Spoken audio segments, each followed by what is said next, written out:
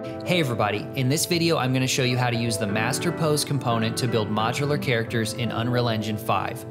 There's lots of modular character packs available on the Unreal Engine marketplace. These packs can be incredibly helpful when trying to add a variety of characters to your game while keeping the style of the models consistent. But if you don't know how to build modular characters in Unreal Engine, then you won't be able to get the most out of these asset packs. With that said, let's jump in. We'll start by making a new character blueprint.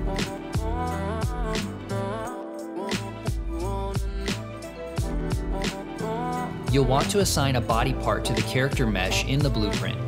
In the folders of your character pack, you may notice the bodies are broken into different parts, and there may also be some fully connected bodies. I would recommend using just the head for the character mesh, as this will allow you to customize the clothing and other parts of the body. If you use the full body, you may run into clipping issues where the body parts will clip through the clothing. Once you've added the head as the mesh, you can start adding the modular parts to the character. I would start by adding the clothing first as this will dictate what body parts you may need. For example, if your character is wearing a sweater, you may only need hands instead of the full arms of the character.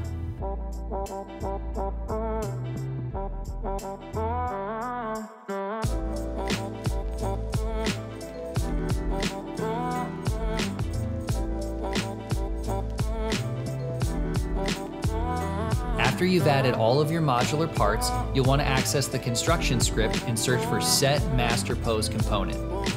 Make sure that your mesh is set to the new Master Bone component. The rest of your body parts and clothing should be added to the target node.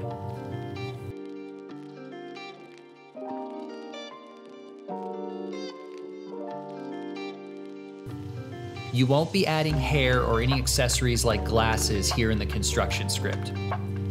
For the hair and any additional accessories, make sure that they're nested as a child beneath the character mesh. Then search for the appropriate socket on the right hand side of the viewport.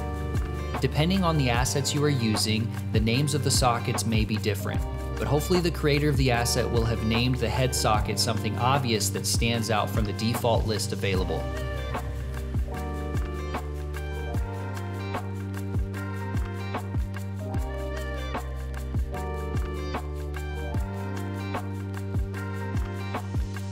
If you want to be able to control your character, then you can duplicate the third person character blueprint that comes with Unreal Engine.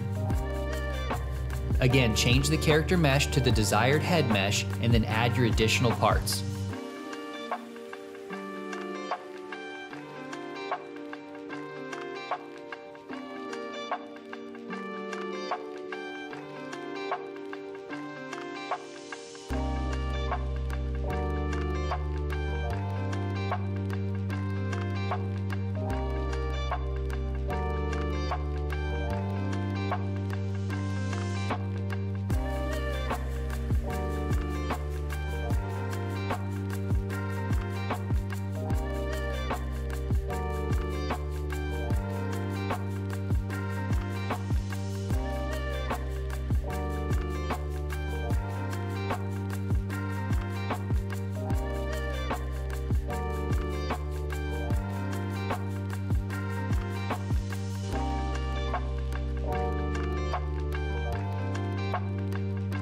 And voila, you now have a fully playable and customized modular character ready to go. If you found this video helpful and would like to see more tutorials for Unreal Engine, be sure to hit the like button or let me know in the comments. Alright everybody, thanks again for watching and I'll catch you later.